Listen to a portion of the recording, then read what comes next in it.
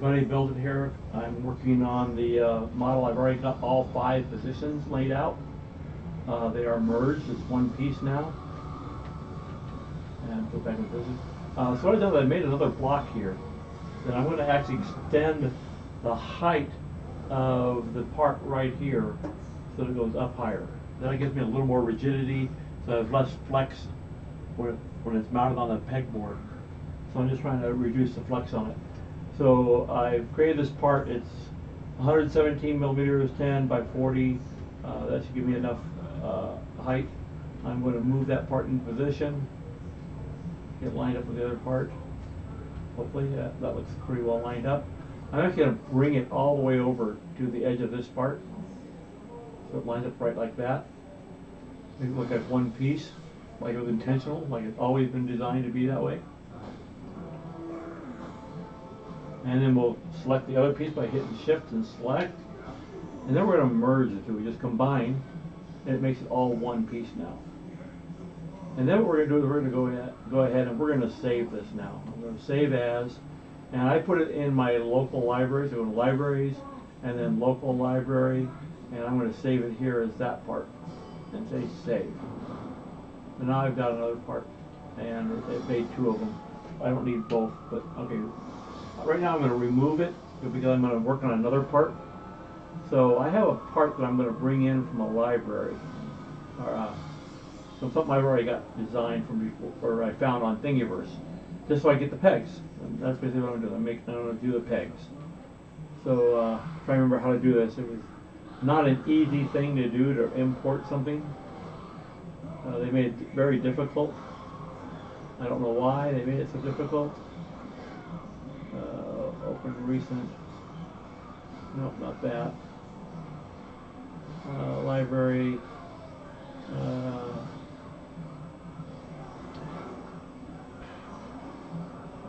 downloads.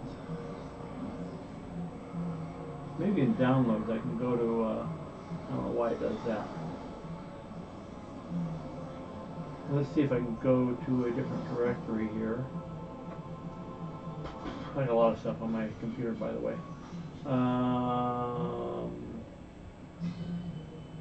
no, no, no, no, no, no, no, not there. Okay, not in downloads. Um,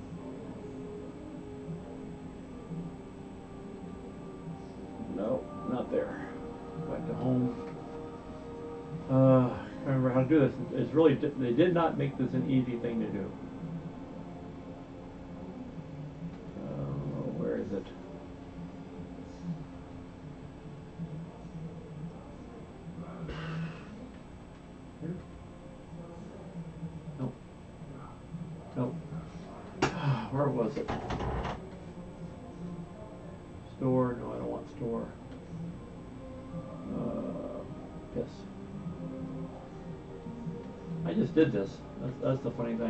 Did this playing around before I went to the video and now I freaking can't get it there. Let's go back to my Ender three. So you do it here. Uh, nope, nope, nope, nope, nope, nope, nope. Where was it? Ah, open file. So I have this pegboard screwdriver holder that I'm gonna import because I'm gonna modify it. So I'm gonna, I'm gonna get rid of all the screw holder things and I'm gonna get rid of all of this. I'm just gonna keep two peg holders for it. So I'm gonna get rid of all that by uh, doing a subtract. So I'm gonna bring a cube in. I am going to make the cube, uh, let's say 60 long, or width 60. And I'm gonna line it up here so I can get it right up against the edge here. As close as I can.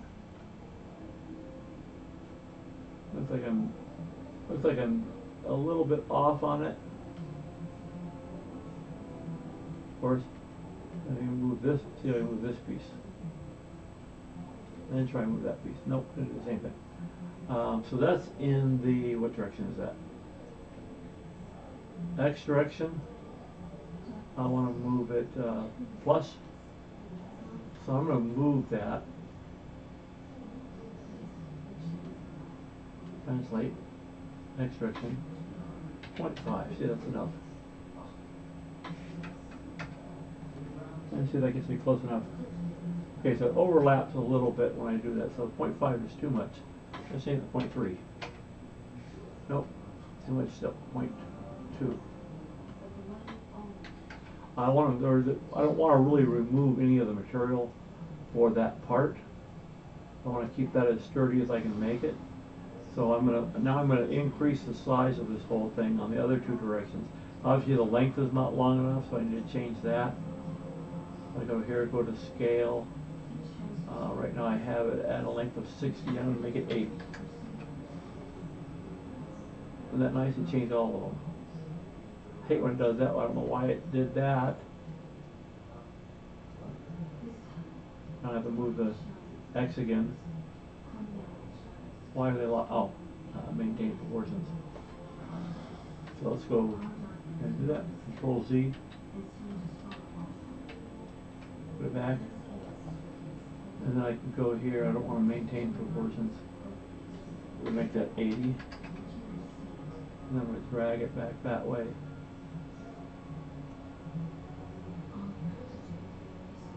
We gotta go point 0.2 again.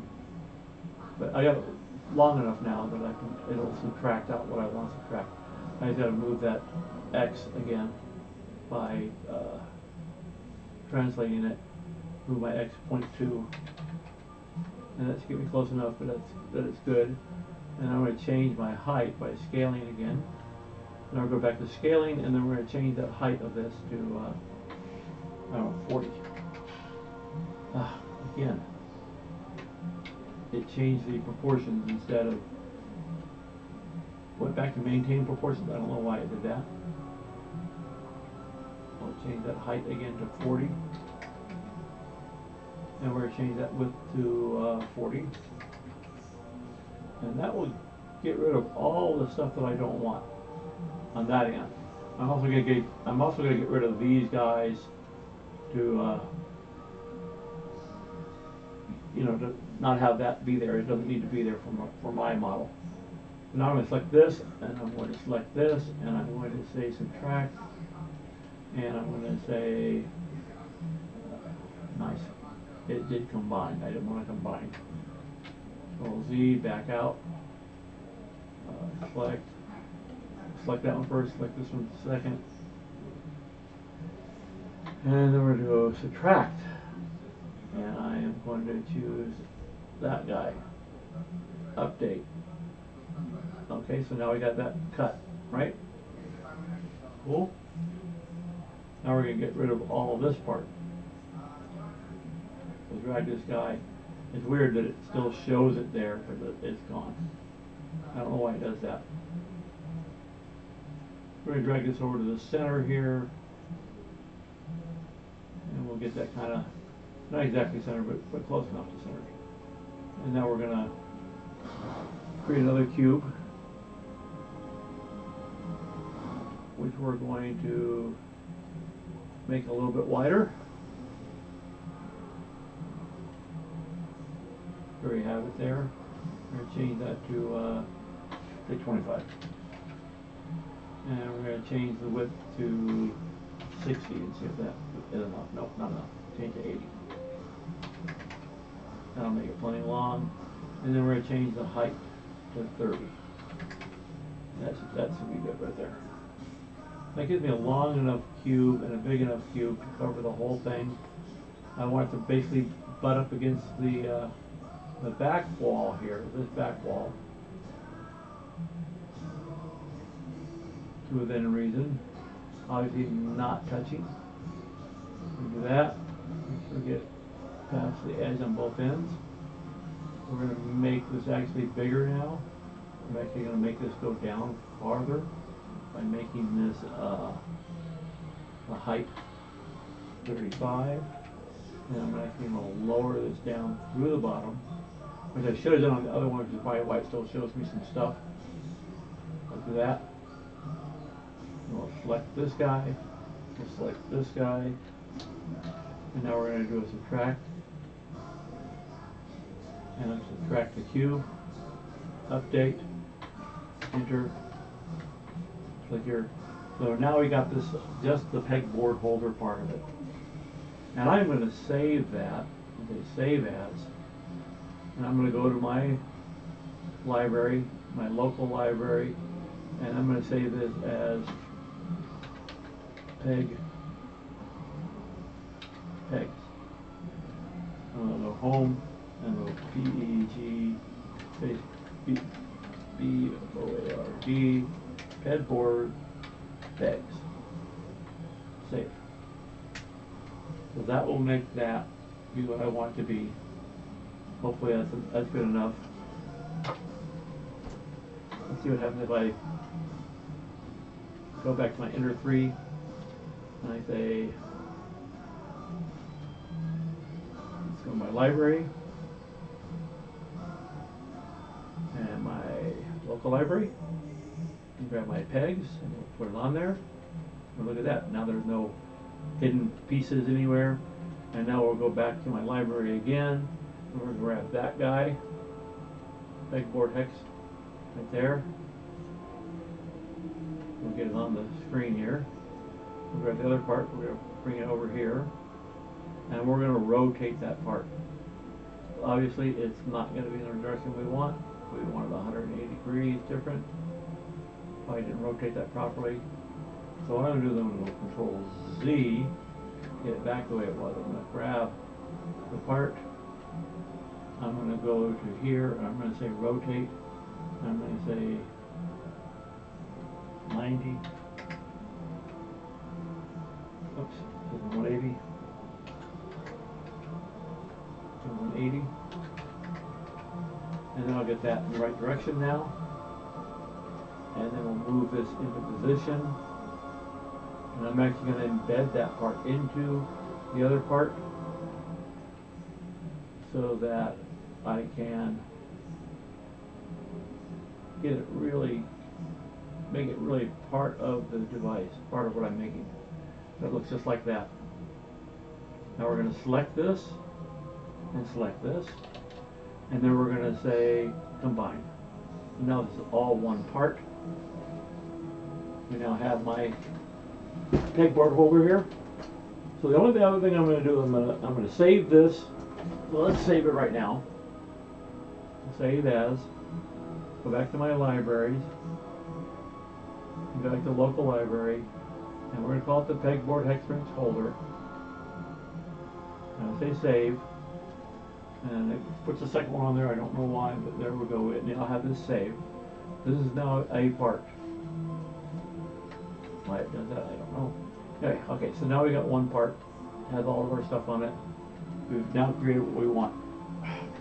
What I want to do now I actually want to go through and I can put text in this I believe and I'm going to put the size of my wrench.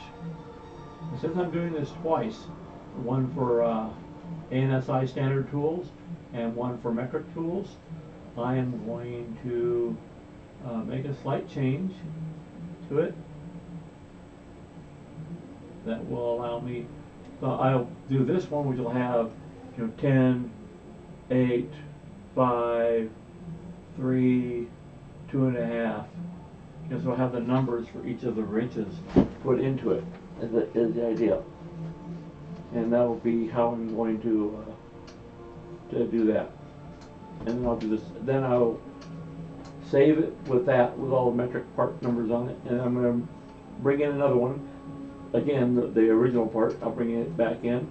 And I'll put in the ANSI American Standards part uh, part numbers or the size numbers for the wrenches and net and that'll complete both sets for uh, for my holder.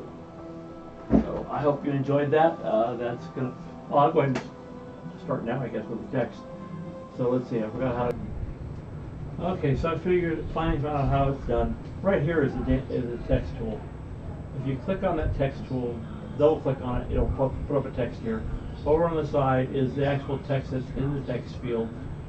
So I, what I did was I made I made them different sizes and I moved them into position. I did 10 millimeter, 8 millimeter, 6 millimeter, 5, 3, and 2.5. I'm going to delete that text. It's gone.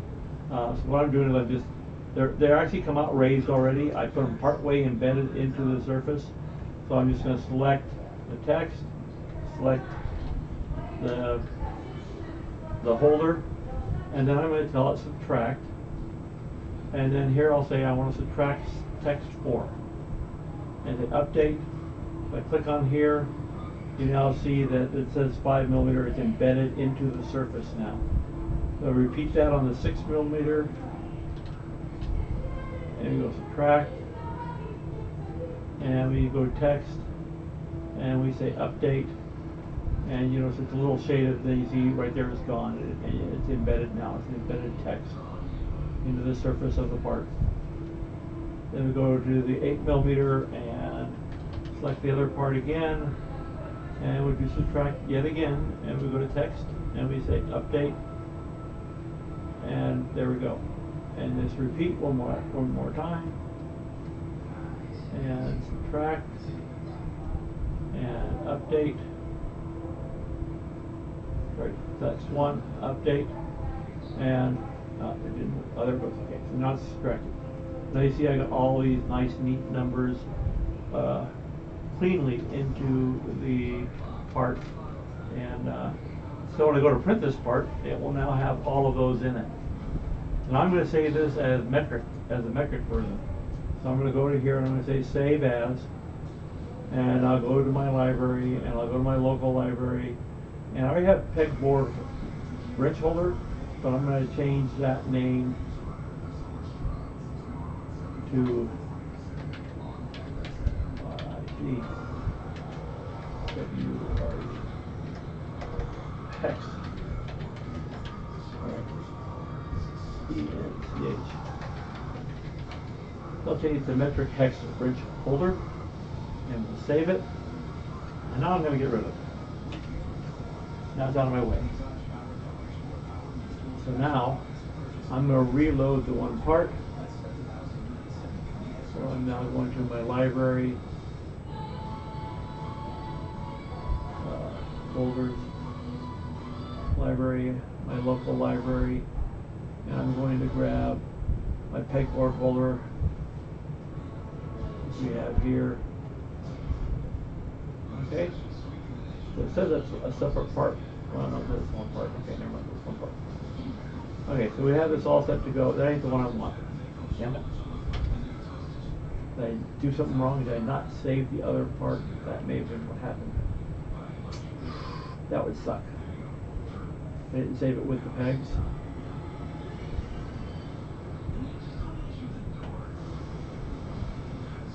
This one?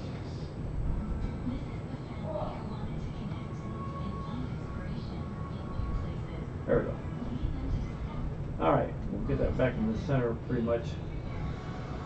And we just repeat this process, so now you get to see the whole thing from scratch.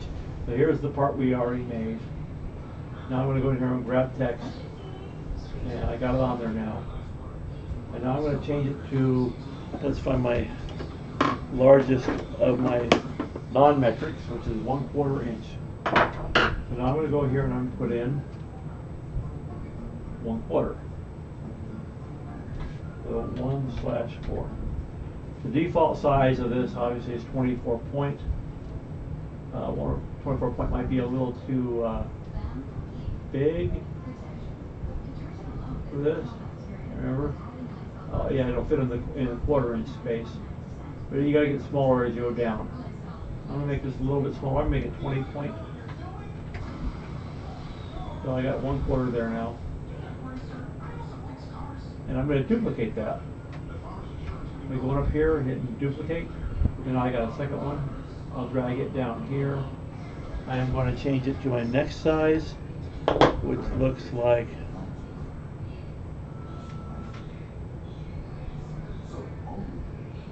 will be seven thirty seconds will be my next size.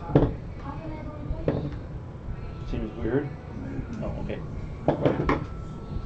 So seven thirty seconds is basically uh, about an eighth of an inch away from a quarter of an inch. Not quite, but close. So seven thirty seconds is my next size. So I'll go here and I'll change this text to seven slash three two. And I have seven thirty seconds in there. And I'll duplicate that. And I'll move my duplicated one down. Now you can see it's already too big for the space here. So now we're gonna go to a smaller size, I'm gonna go fourteen, I think. And we'll use fourteen on that. Oops. I wanna move that, I wanna move this. And now we're gonna change that number to whatever the next smaller, next size is. So I believe that'll be this guy, which is three sixteenths. And I have three sixteenths. And that's my next one. And I'll just grab that and duplicate again.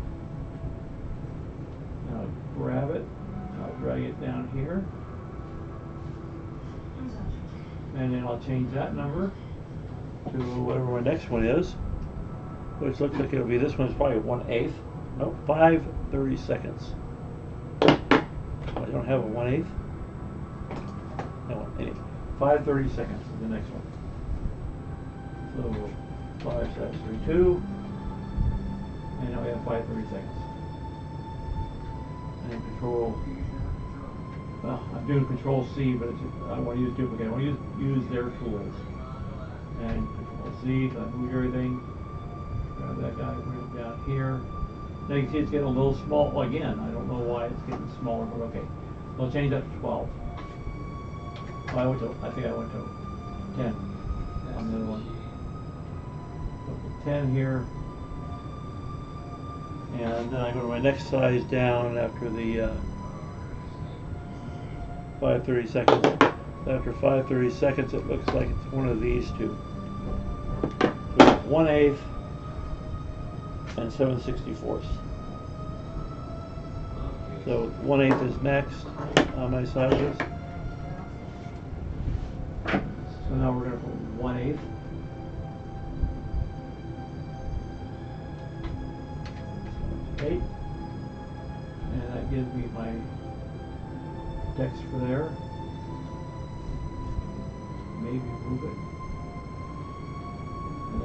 There we go, got eighth. And then we'll duplicate that.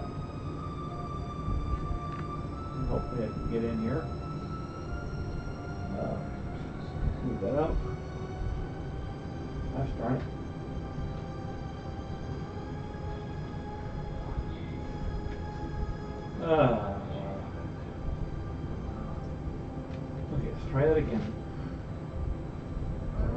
Duplicate that and did it. And I grabbed the wrong one, see, that's not what I want to do. Because here it needs to be even smaller, as you can tell. And I went down, I think, uh, I think I went down to eight. You see, it barely fits in there. Need to be smaller than eight, so we're going six. And that'll give you enough space in there. I don't know if it's gonna show up when I go to print. But now all you gotta do is just select one like you already got selected. You hit shift and select the, the background here. And then we go and hit subtract. And then you just say, take, select the text and say update. And you click off to the side and it will show now it's got an embedded text. You could leave it as a raised text if you wanted to, but I'm, I like doing embedded. I think it looks cool embedded versus raised.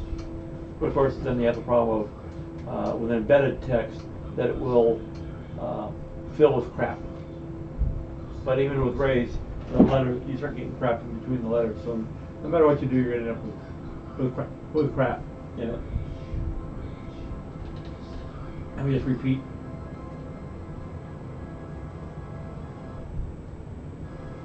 Then we go to the next one.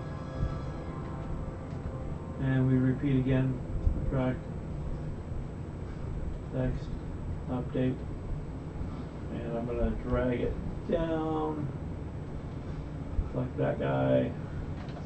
And we will subtract again. And choose the text, say update.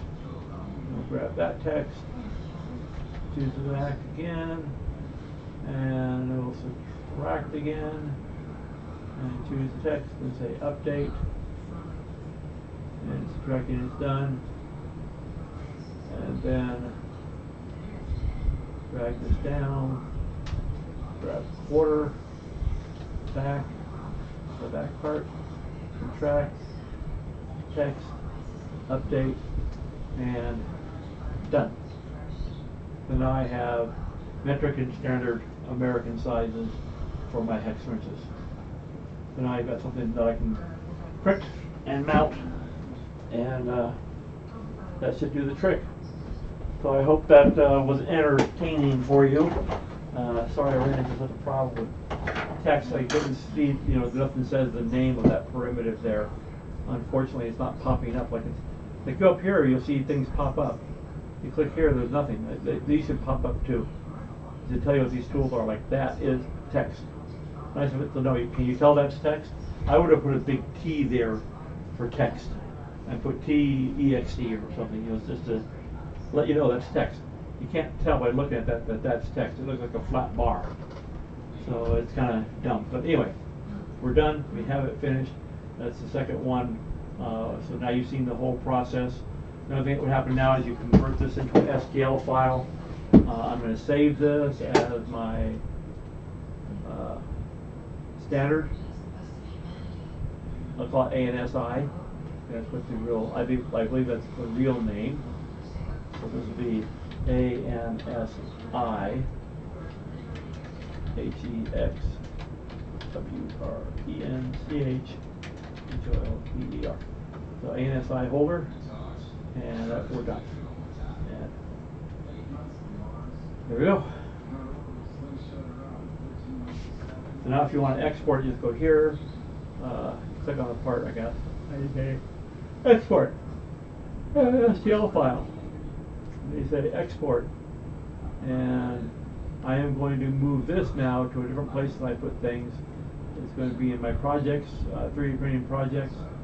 And uh, I mean, I don't think I have a folder for my own designs yet. But I will make my own folder now. I'll make a new folder. My designs. And I will find it now. Be back up here somewhere. There's my designs. And I'm going to call this uh, ANSI PEG H-E-X W-R-E-N-C-H Rich folder and save. So now I have an STL file exported that I can print on any printer I want. I am going to now remove this part. I am going to now go back and import a part from the library, which will be my metric one. And I will center it in the middle here. And then I'm going to say edit, and I'm going to export STL, export, and it goes back to the same folder I was in. And this will be metric folder STL. Save. Done. So now I have both of them in STL form. And uh, I hope you enjoyed the video. Um, I guess I'll put these up on Thingiverse, I guess. Uh, why not? I don't know if anybody's going to want to print them or not, but anyway, uh, you've seen how it's done. You've seen how I made the part. Um, you got to see my confusion when I couldn't figure out where the damn text thing was, even though it's right there. Because you can't tell if that's a text, and nothing tells you it's a text. That made it very difficult. But uh, anyway, we're now done. Uh, thank you for tuning in, and I hope you enjoyed the, se- the video series. This is it will be the end of part two. I will edit the other stuff together and make it all one video. So it'll be two parts. The first part where I was first modeling all the little uh, the little curved pieces, you know, the the pieces here where I made the holes through them and everything. So that'll be the first part of the video, and the second part of the video will be where I uh, added the back, added the the actual peg holders, and then uh, added the text. And did both uh, ANSI and uh, metric. So thank you for tuning in and have a great time. I will also put the links for the parts in the description of the video rundown. Thank you for tuning in. Have a great day. Bill Diet out.